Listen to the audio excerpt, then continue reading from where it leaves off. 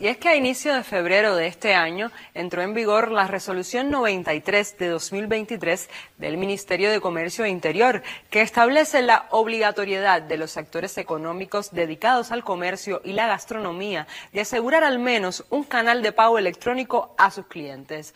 ¿Cómo han transcurrido estos primeros días y dónde se concentran las mayores preocupaciones? Para responder esta pregunta regresa el periodista Lázaro Manuel Alonso con el tema de la semana, tal como habíamos anunciado en portada. Buenos días para ti, Lazarito. Buenos días para ti, Rachel. Un gusto volver al espacio de la revista Buenos Días para poner en contexto un tema de la agenda nacional que obviamente está en la conversación pública de nuestro país. Tú lo decías, todo comenzó cuando el efectivo dejó de estar en las sucursales bancarias y en los cajeros en las cantidades suficientes para satisfacer las demandas de la población. Porque el efectivo, eso lo sabemos, fue y sigue siendo el método de pago preferido, aunque no el único. La inflación galopante y con ella los precios disparados en todos los bienes y servicios determinaron ese incremento en las extracciones y también la necesidad creciente de los actores económicos de tener más billetes para acceder a sus materias primas o productos terminados.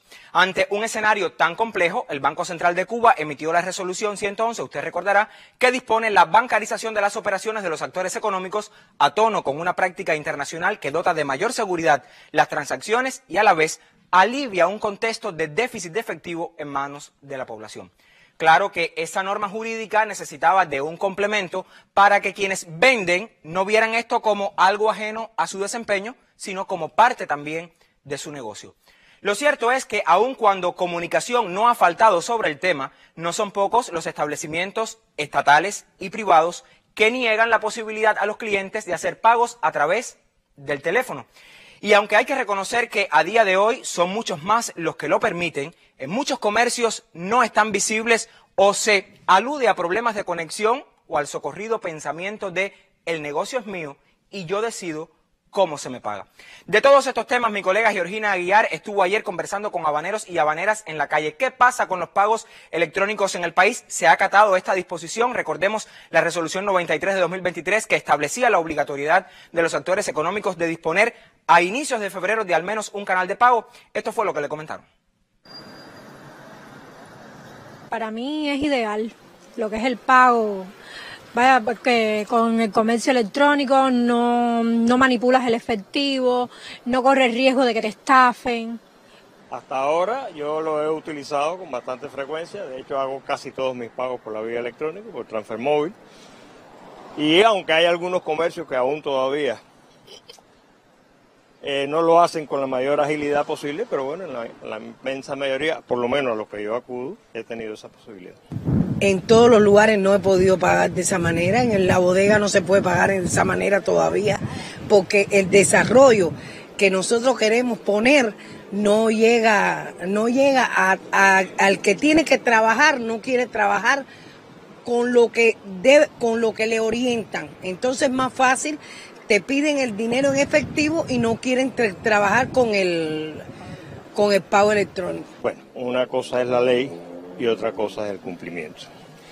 Creo que la ley va bien encaminada, eso es algo que es de la modernidad en cualquier parte del mundo. Lo que pasa es que el cerebro no marcha a la misma velocidad que los legisladores. ¿Qué pasa? Que no, no es, eso no es generalizado, solo en muy pocos lugares. Y hay algunos lugares en los que se pudiera hacer, pero las personas, no sé si es por miedo a la tecnología, no lo implementan. Por ejemplo, en los mercados, los puestos de vianda, eso está en cero. En los agros y eso se ve muy poco. Y a veces uno no tiene el efectivo, tiene que estar, no sé, pasar eh, muchas horas de colas para poder traer el efectivo, para poder comprar las viandas. Realmente es más bien en, en comercio donde sean, vaya, cosas más bonitas como tiendecitas. Mira, pero tú vas a las ferias y también te, te aceptan pago electrónico, pues pagar por transfer móvil. Eso depende, si lo cogen todas las personas excepto los pagos menores, porque los vendedores ambulantes, el que lleva el pan o te lleva el tomate a, a la puerta de la casa, no tienen ni siquiera celular. Entonces, bueno, hay que saber, eh, saber distinguir esas diferencias, no todo el mundo está en la misma situación. Otras manifestaciones asociadas a estas desviaciones de lo establecido también son frecuentes. Ejemplo de ello es, por ejemplo, la exigencia de pagos en billetes de alta denominación que limitan el uso por la población de denominaciones más bajas, y estoy hablando cuando las personas quieren pagar en efectivo, o los pagos a quienes sí tienen código QR, pero no asociados a su cuenta fiscal. De todo ello hablamos también con las personas en la calle. Georgina Guiar también preguntó quizás en algunos lugares donde esto esté ocurriendo, y esto fue lo que le comentaron. Es muy difícil pagar. Eh, le estoy hablando, la farmacia de aquí de 21 es muy difícil pagar. Entonces te dicen, cuando tú vas con el pago, te dicen, no tienes en moneda mejor para no hacernos a nosotros demorar la cola. Y entonces le ponen la culpa a la cola que hay por dos minutos, que es lo único que demora el tráfico móvil. ¿Me entiendes? Y eso es lo que pasa y hasta que no se exija y se obligue a que hay que pagar por transfer móvil a todos los dependientes, no, no vamos a avanzar nunca. A ver, como vivo cerca de aquí, eh, la variante que más utilizo es la de Copelia. O sea, uso el pago electrónico para sobre todo comprar helado ahí en Copelia. No sé si tenga que ver algo lo de Telsa. No sé, el pago por caja, creo que es como lo llaman. Pero ya, esas son las opciones así, las variantes que he podido explotar hasta ahora. Es más cómodo porque no tienes que andar con el dinero encima, pero la contra que tiene es que el sistema es muy malo y muchas veces no hay conexión en los lugares o uno mismo no puede eh, gestionar pagar desde el teléfono móvil contando con que tengas un teléfono móvil, contando con que tu teléfono tenga buena conexión.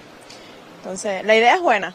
Ahora el desarrollo es complicado. Fui a Tarará, me siento muy bien en Tarará, inclusive en la playa, se pagó en transfer móvil y da, eh, eh, eh, tú te sientes, el cliente se siente mejor, porque es un por ciento también que le descuentas al cliente y el cliente se siente mejor, pero no en todas las partes se puede pagar en transfer móvil. Esto todavía no, no, no quieren trabajar como hay que trabajar.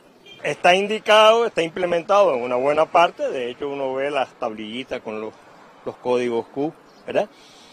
Y, y se puede hacer donde lo tienen habilitado, hay otros en que no, no corren con igual suerte. Y en definitiva, bueno, eso es una cosa de reciente implementación y la implementación discurre por lo legal, por lo técnico y lo electrónico y por la aceptación y realización por las personas. El problema está en que no lo tenemos en conocimiento, pero todavía la práctica no llega. Ese es el problema que hay. Usted desde su casa puede acompañarnos en el debate si nos escribe y ya lo hemos habilitado nuevamente a nuestro correo el tema arroba icrt.cu, lo tiene en pantalla, el tema arroba icrt.cu.